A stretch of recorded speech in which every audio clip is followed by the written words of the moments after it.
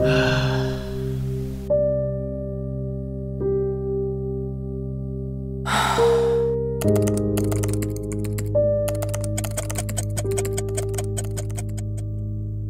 rasa tertekan di tempat kerja, rasa tidak bersemangat, mudah marah, dan naik angin. Menurut kajian, pada tahun 2018, seramai 4.57 juta orang dewasa yang bekerja di Malaysia dilaporkan mengalami masalah kesihatan mental sekiranya anda tidak mengambil langkah segera.